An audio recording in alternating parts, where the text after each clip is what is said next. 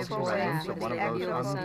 always great to be a Miami hurricane.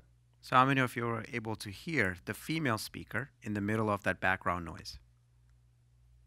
About half of you. How about now? It's always great to be a Miami hurricane. Much clearer now, right? So this is what our ears are doing all the time. They're always on, and what they're doing is they're suppressing that background noise when we're in a restaurant or in a crowded situation so that we can actually hear the person we want to focus on, that friend that we want to listen to. Or when we go to a music concert and we want to listen to all those different organs, all those different instruments, and the different frequencies. The brain and the auditory system is actually suppressing that background noise so that we can focus on our, our uh, speech of interest. Unfortunately, there's a lot of noise all around us, and that noise is causing damage to our hearing.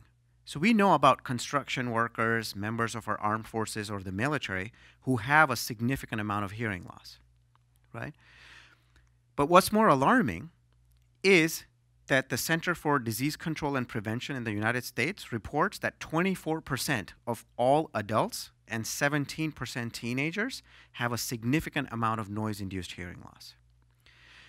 If you think about it, this is 40 to 50 million people, Americans, who have hearing loss in one or both of their ears. And the impact of this on our society is huge, right? There's a lot of burden being borne because of loss of productivity, in terms of healthcare costs. In fact, CDC reports that $123 billion could be saved if we could only treat or prevent 20% of hearing loss.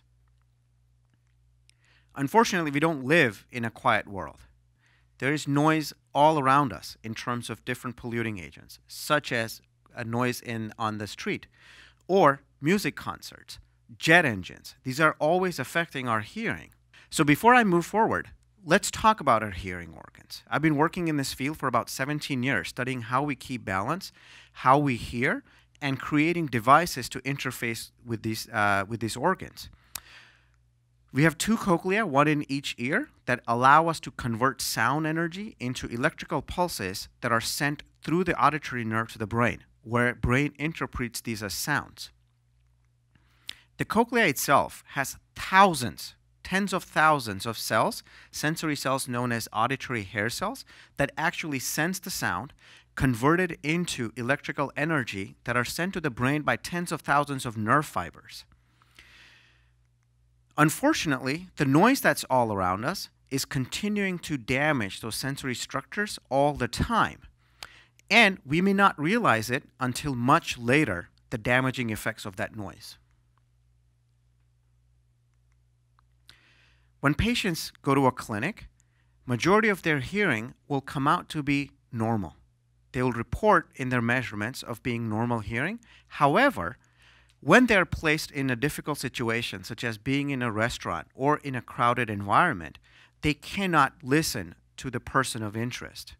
And this is what scientists call hidden hearing loss, which is a direct result of noise induced damage to those cochlear structures. My lab, which is part of the Department of Biomedical Engineering and College of Engineering, and of the Ear Institute at the Miller School of Medicine, is working with engineers and physicians to try and find solutions for this noise induced damage and the trauma. And we think we're onto something really remarkable.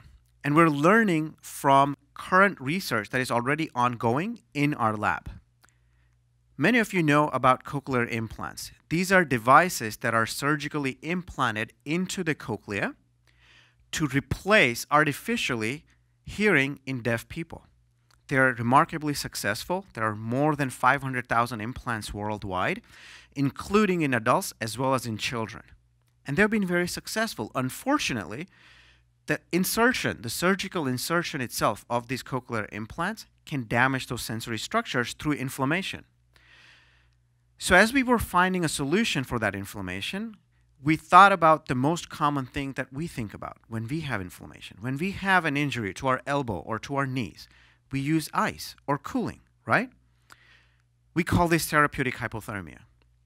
therapeutic hypothermia is actually used in cases of traumatic brain injury, in concussion, in stroke all the time for protecting the nervous structures or the neurons.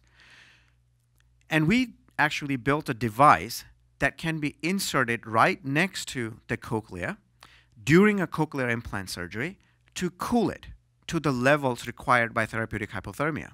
And what we found in the lab in rodents was actually quite remarkable. This is the healthy cochlea on the left.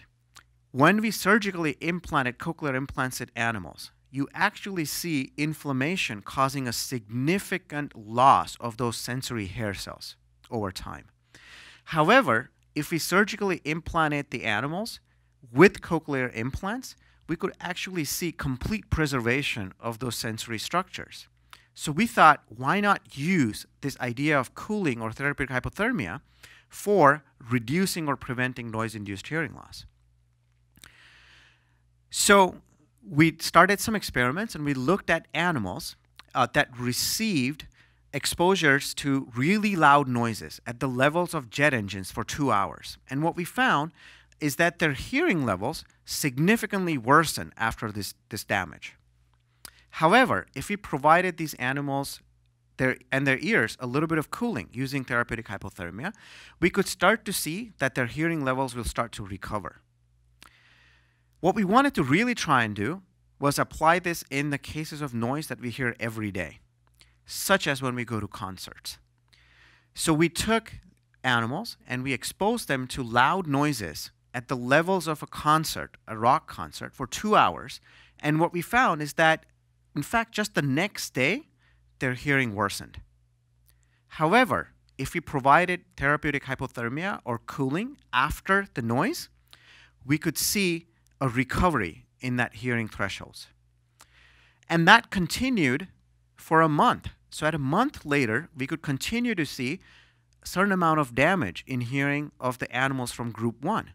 However, those that received the cooling, they had hearing that returned almost to the normal levels.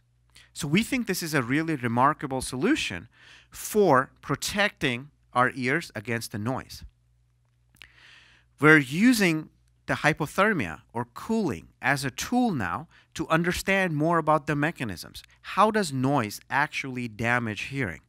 And how does therapeutic hypothermia or cooling actually preserve those sensory structures within the cochlea?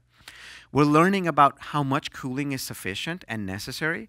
We're learning about how to apply the cooling, when to apply it, and what can we protect. And what we are doing is we're using that scientific knowledge to build devices and therapies that can be translated to humans to preserve our hearing for generations to come so that we can continue safely taking flights. Listen to every single instrument when we go to a concert or attend football games. Thank you.